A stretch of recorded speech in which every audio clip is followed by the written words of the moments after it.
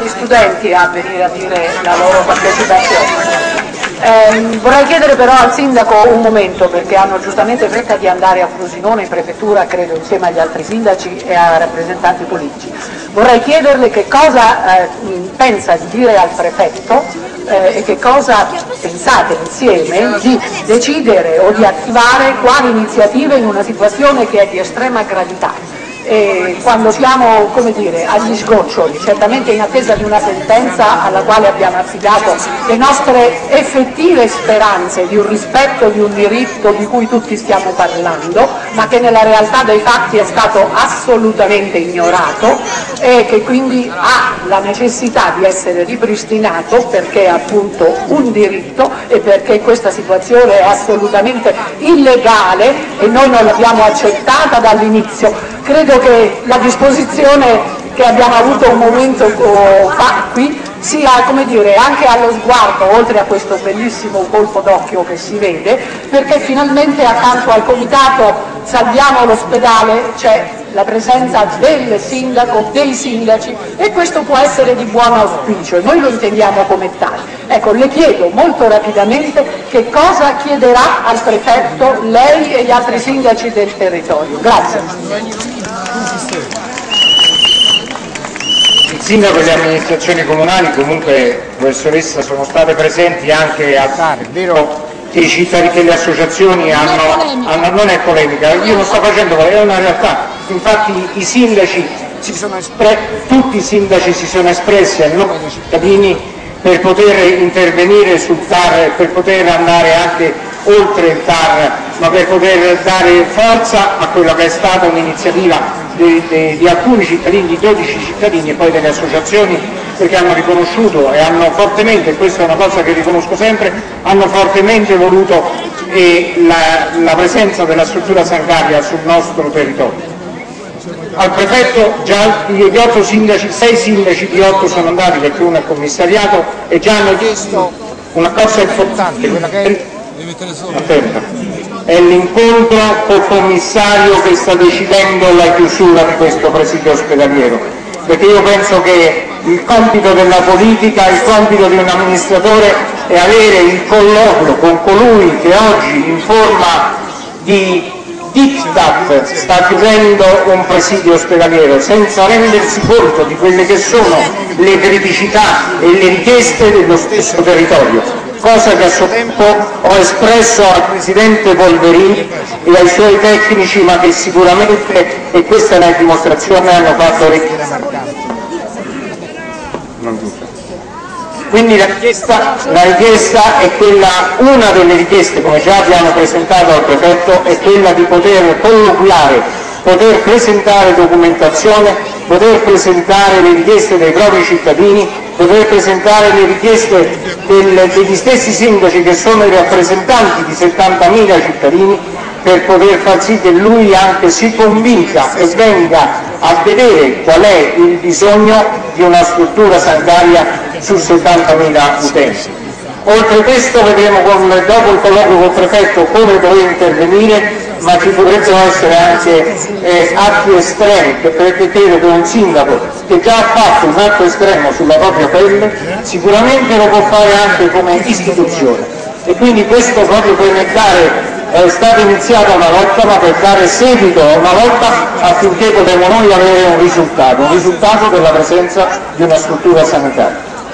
Grazie Sindaco, prendo atto che questa vicenda non si chiuderà qui e che quindi saremo insieme nel proseguimento di tutte le iniziative, tutte, tutto ciò che eh, sarà necessario fare. Allora chiamo i rappresentanti degli studenti.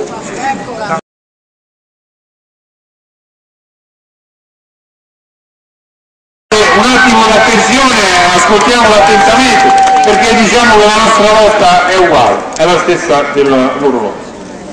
Allora Luciano Antalivieri è, scusate non la voce, è in occupazione dal 27 novembre e sin da subito si è dichiarato solidale per il comitato per la lotta all'ospedale. Questo perché al di là dell'illegalità con la quale è, stata, è stato previsto la chiusura, la chiusura dell'ospedale crede che in qualsiasi stato, sia liberale, ipertecnologico qualsiasi cosa, non si possa eh, togliere il diritto gratuito a tutti a scuola e salute.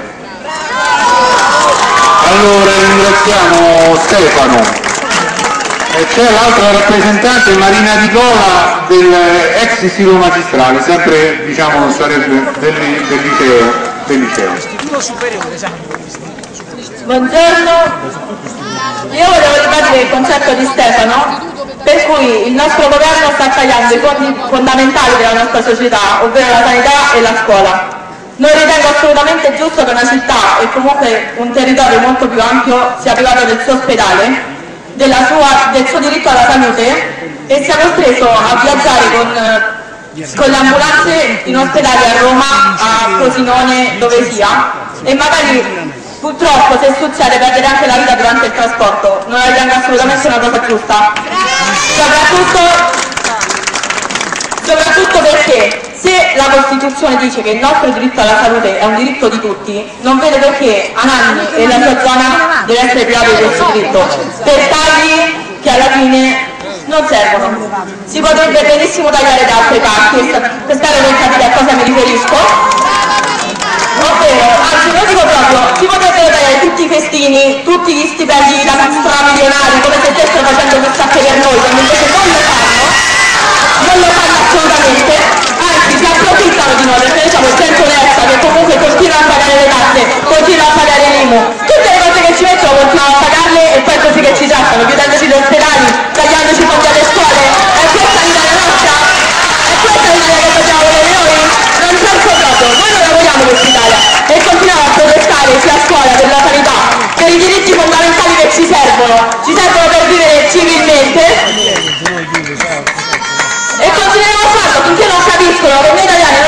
non siamo tutti polli, non stiamo sempre alle loro regole, a come gli gira loro la mattina quando si alzano dal letto? E noi non ci siamo.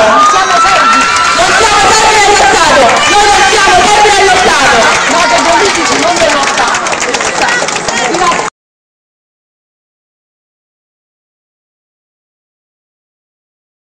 Grazie Sandro, oggi anche il tempo è stato clemente, a voi un ringraziamento per aver partecipato perché avete dato segno di forte sensibilità e del bisogno che abbiamo di una struttura sanitaria sul nostro territorio. Il ringraziamento va anche agli onorevoli presenti perché abbiamo onorevoli regionali, l'europarlamentare,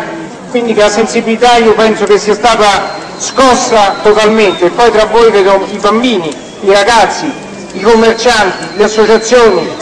i sindacati, quindi non, non voglio continuare l'elenco perché dobbiamo essere concisi negli interventi per poi andare in prefettura, però sappiate che noi siamo pronti a tutto perché questa struttura sanitaria debba esistere. Non voglio parlare di ospedale, ma parliamo di struttura sanitaria che riesce a garantire un'emergenza, che riesce a dare una certezza di sopravvivenza, cosa che in questi ultimi giorni sicuramente abbiamo perso. In tre giornate senza neanche l'assistenza delle, dei, di specialisti come il cardiologo e l'anestesista sicuramente è successo qualcosa di grave, ma è inutile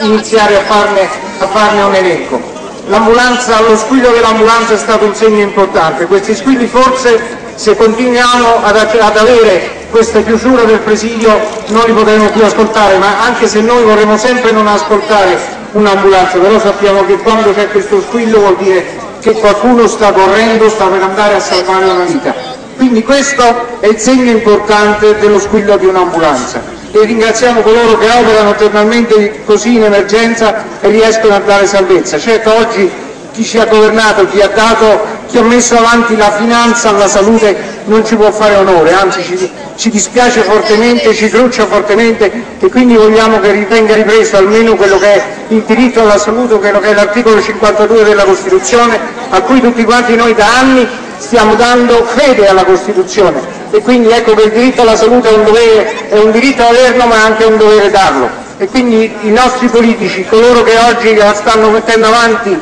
il dio denaro è ora che pensano un pochino che il tutto, che la nazione è costituita da cittadini, è costituita da esseri umani e la sanità non è altro che la base per la sopravvivenza di un essere umano. Quindi sulla base di questo io non posso che, anche per non truccarmi ma dare parola ad altri, che invitarvi a, mantenere questo sostegno forte per, per, il presidio sanitario, questo sostegno forte per le altre manifestazioni anche per la, la, perdita dei posti di lavoro che vediamo che la Videocon è così, altre ditte, si cita la Videocon perché è la più grande, ma sappiamo che ce ne sono anche altre che stanno chiudendo e quindi ecco che veniamo a perdere anche quello che è l'economia del territorio. Ora io non posso che invitarvi a seguirci per andare in prefettura, ma sicuramente io voglio invitarvi a un altro appuntamento importante che è quello del 4 dicembre quando ci sarà l'udienza al TAR Roma, dove tutti quanti noi sindaci saremo presenti e ringrazio i colleghi sindaci che sono qui con me perché questo ricordiamo che non è un presidio di Anagni ma è un presidio del territorio un presidio di altri otto paesi, un presidio di 80.000 che deve dare sicurezza alla sanità per circa 80.000 utenti, 80.000 persone. Anche voi fate parte di queste 80.000 persone. Quindi l'invito è poi al 4 dicembre, oltre che andare adesso a Frosinone, ma il 4 dicembre tutti presenti al TAR perché il, la magistratura del TAR possa rendersi conto che effettivamente oltre ai sindaci che rappresentano le 80.000 persone ma c'è anche una buona rappresentanza. Invito a questo anche i politici sia regionali che europarlamentari di ogni ordine e grado e io mi farò promotore sugli altri, sugli altri politici affinché siano presenti il 4 dicembre perché la magistratura possa tener conto di quello che ha scritto il Consiglio di Stato che questo presidio ospedaliero era importante per il territorio e non bisognava chiuderlo, invece la ASLE ce l'ha chiuso, la Regione ce l'ha chiuso, il commissario d'Acta ce l'ha chiuso, quindi anche il TAR si deve rendere conto dell'importanza di questa questa struttura sanitaria sul territorio, quindi tutti quanti siete invitati il 4 dicembre mattina ad essere al TAR di modo che anche la magistratura possa rendersi conto e essere sensibilizzata all'importanza di questa struttura. Grazie, grazie a voi tutti e grazie